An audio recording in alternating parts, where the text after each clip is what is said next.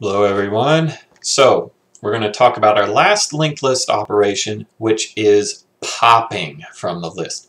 So uh, just like a regular Python list you can pop an index. Okay, so we don't pop by value, we pop by index. Now um, popping removes the item out of the list and it returns it. Okay, so um, other than that, it's actually not too different than remove. Um, so I'm going to pop over to my code, ha ha ha, right now, and I've moved myself down to the bottom. And um, I'm just going to talk through what I expect out of this operation because there's a couple of other things going on here. But in truth, once you handle kind of these other things separately, these special cases, it does look a lot like remove. Okay, so first thing to note is just like in, uh, well first, pop has a default parameter here. Pop pos gets none. Okay, so pos is the index, the position or index of the item to be popped. Okay, now if pos is none, here's the two scenarios that I'm talking about. So say I've got a list and I want to pop the item at index 3. Okay, if I pop the item at index 3, pos is going to be equal to 3. Okay, but if I just do this, list.pop, with no parameter value. Then the default parameter gets substituted in. So pos, in this case, pos was assigned a 3. In this case, pos will be a none. Okay.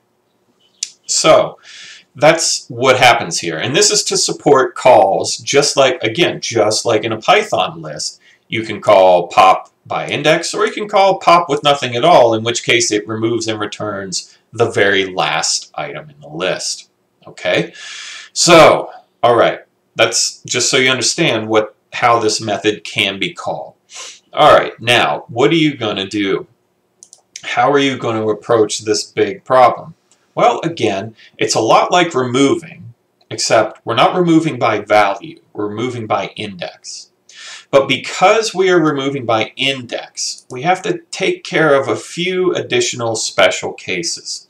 Um, and these special cases have to do with whether this index, this position that is given, is a valid one or not. Okay, so um, this is getting the input and checking to make sure if it is valid.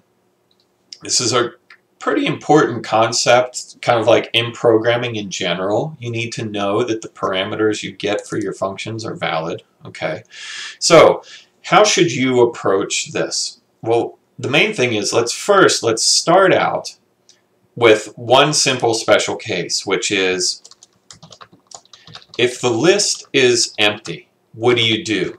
Okay, well, I tell you right here, raise an index error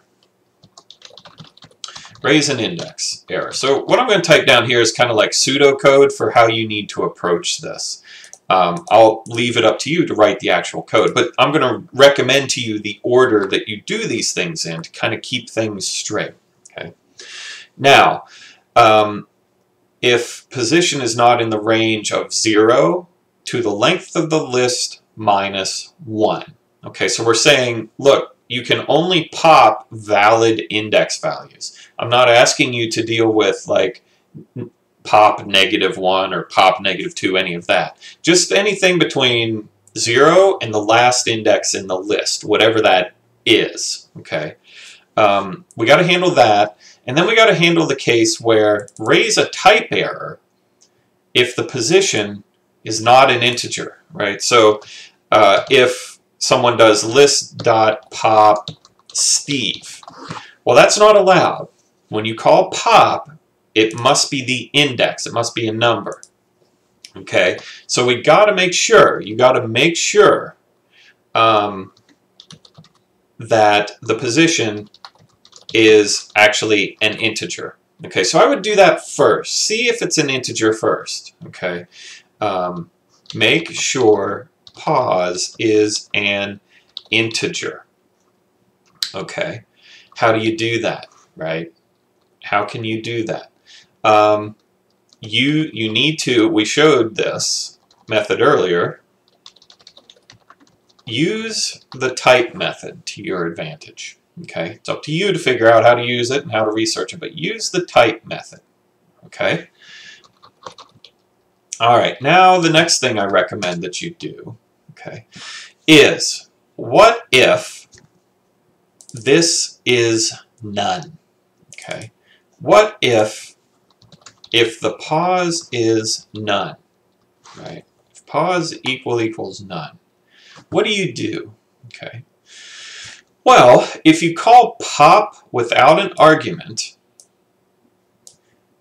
you need to remove and return the item at the end of the list.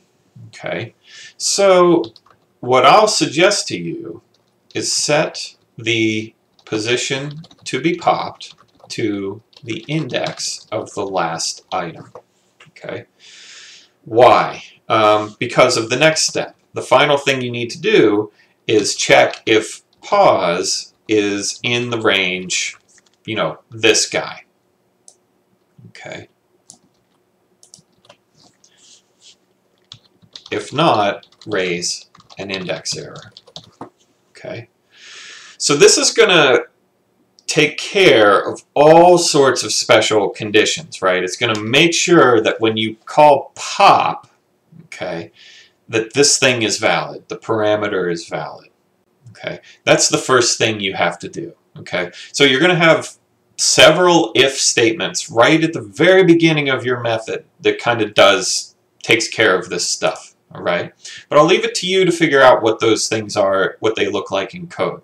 But this is kind of what you need to do, all right? But also, again, understand why you're doing it. You're making sure that this parameter is a valid integer that is an index of the list, like an index that actually exists, okay? All right. Now, um, what are you going to do? So if we get to this point, at this point, the uh, pos you are going to pop is a valid integer index. Okay, great. So now, how do you actually do the popping? All right, how do you pop the thing out of the list? Well, um, if you need to pop, say, the fifth, uh, the item at index 5, then what do you got to do? You got to walk that list down to the fifth position. Okay. Well, you already know how to walk the list. We're going to walk the list with cur and prev, right, just like you did in remove, because we are going to snip things out. You got to walk the list, but instead of like searching, because before you searched for a value, now you're walking a fixed number of steps, right?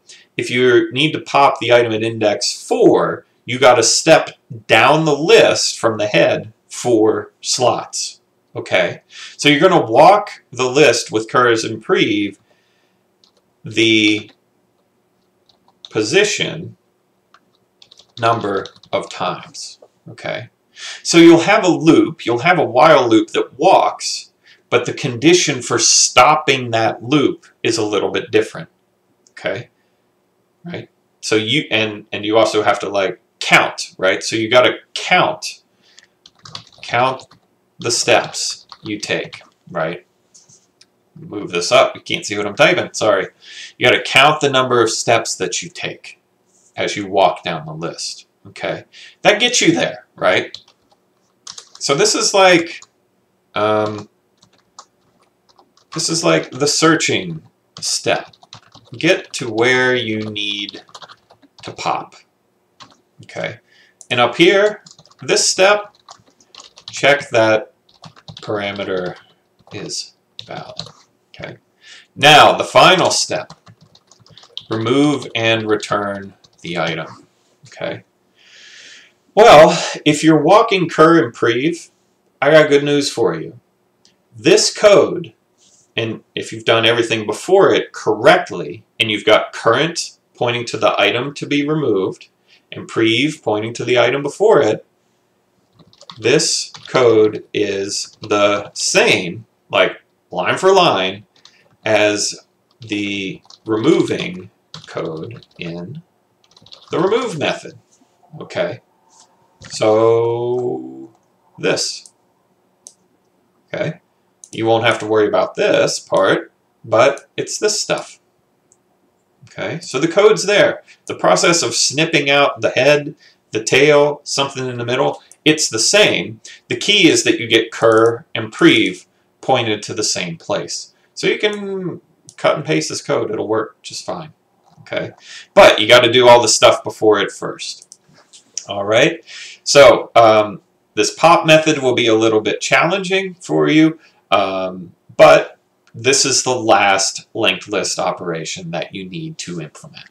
All right, see you kind of wrap up this discussion of linked lists in the next video.